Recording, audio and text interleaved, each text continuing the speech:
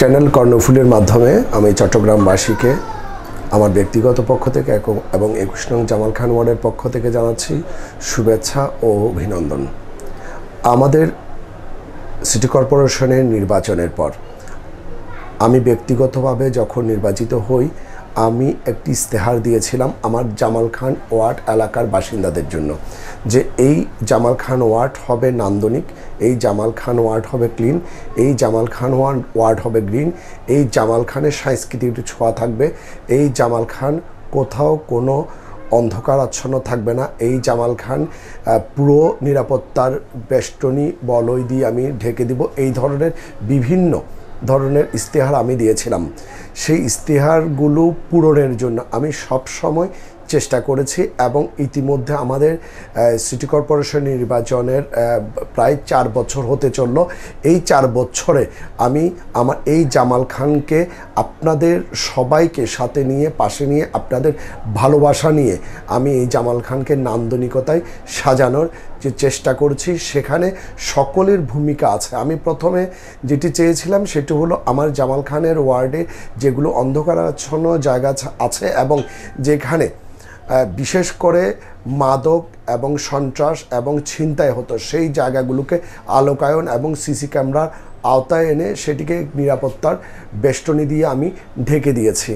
এরপর যে বিষয়টি আমাকে বিশেষ করে তারা করেছে সেটি হলো আমাদের জামাল খান ওয়ার্ডে যে সকল পরিত্যক্ত জায়গা ছিল এবং মিড আইল্যান্ডগুলো ছিল, সেই মিড আইল্যান্ড এবং পরিত্যক্ত জায়গাগুলো এবং যেখানে আরও বেশি কাজ করা যায়, নান্দনিকতায় রূপ দেওয়া যায় বিউটিফিকেশনের আওতায় আনা যায়, সেগুলোকে আমি কর্পোরেট হাউসের মাধ্যমে সিটি কর্পোরেশনের অনুমোদন নিয়ে, কিন্তু সম্পূর্ণ অর্থটি কর্পোরেট হাউসেই প্রদান করেছে। তাদের সাথে বৈঠক করে, তাদের মাধ্যমে পুরো জামাল খান আমি নান্দনিকতার কাজগুলো করেছি। এই নান্দনিকতায় কাজগুলোতে আমাকে জননেতা জনাব আলহাজ আজম নাসির সাহেব অক্লান্ত পরিশ্রম, ভালোবাসা এবং ঐকান্তিক চেষ্টায় আমি এই কাজগুলো করতে সম্মত হয়েছি। সেই ক্ষেত্রে আমাদের যে কর্পোরেট হাউসগুলোকে আমি সম্পৃক্ত করেছি, আমি বিশ্বাস করি, শুধুমাত্র সরকারের দায়িত্ব নয়, কিংবা আমাদের সিটি কর্পোরেশনের দায়িত্ব নয়, এই চট্টগ্রাম শহরটি আমার, আপনার সবার। সবাই যদি একত্রিত হয়ে কাজ করি তবেই আমাদের চট্টগ্রাম নান্দনিকতায় পরিণত হবে। তার যে সুফল সেটি আমি যা আমরা জামাল খানে ইতিমধ্যে দেখতে পেয়েছি।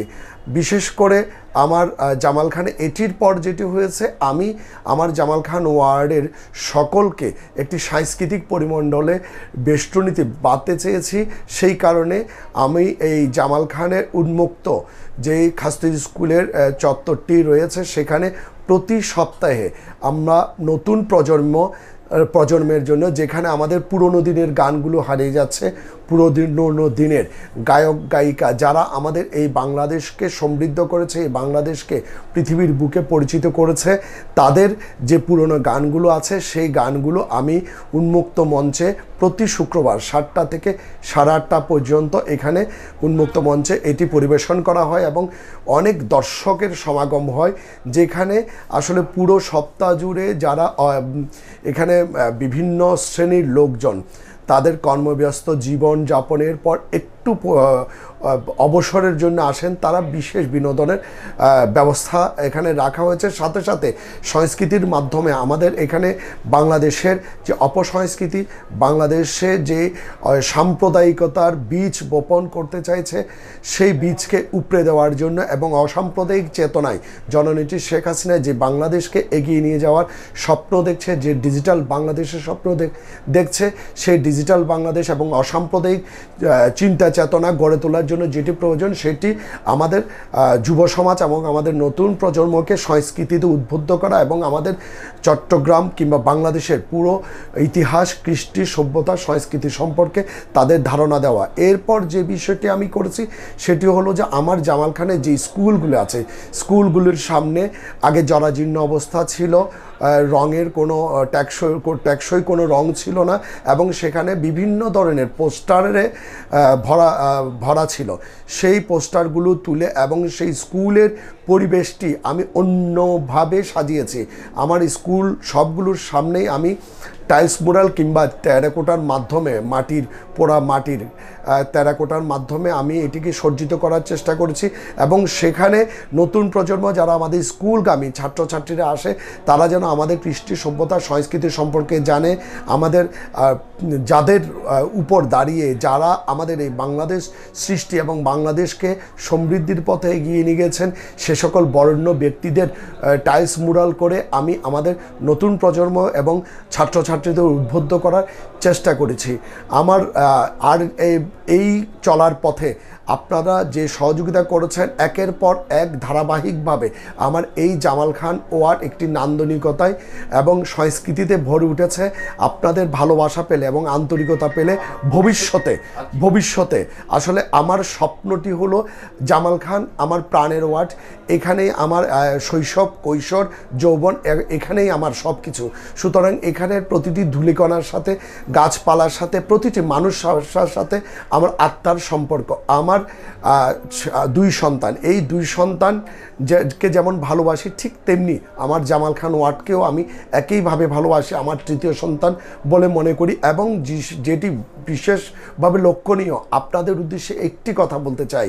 আমরা আমাদের বাসাবাড়ির ড্রয়িং রুম বেডরুমগুলোকে আমরা যেইভাবে, যেই সুন্দরভাবে সাজিয়ে রাখি, আমাদের করিডোরটিকে যেভাবে সাজিয়ে রাখি, আমাদের ব্যালকনিটাকে যেভাবে আমরা ছোটোখাটো বাগানের মাধ্যমে যেভাবে সাজিয়ে রাখি, যেভাবে পরিপাটি করে রাখি, আমরা যদি সবাই মিলে আমাদের ওয়ার্ডগুলোকে আমরা যদি মনে করি সেগুলো আমাদের বাসাবাড়ি, সেগুলো আমাদের ড্রয়িং রুম সেগুলো আমাদের বেডরুম সেগুলোই আমাদের ব্যালকনি এবং সেখানেই আমাদের ছেলেরা বড় হয়ে উঠবে, সেখানেই আমাদের নতুন প্রজন্ম একটি ভালোভাবে নিঃশ্বাস নেবে।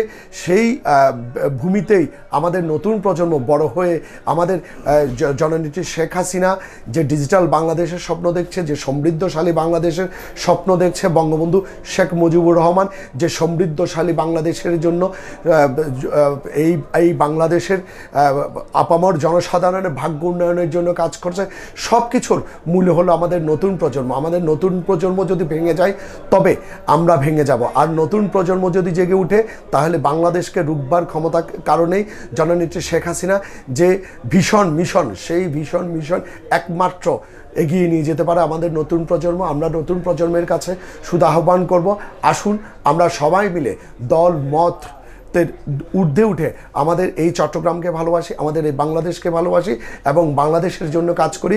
বাংলাদেশকে একটি স্বপ্নময়, রঙিন, সুন্দর, নান্দনিক, জঙ্গিমুক্ত, মাদকমুক্ত একটি দেশে পরিণত করি।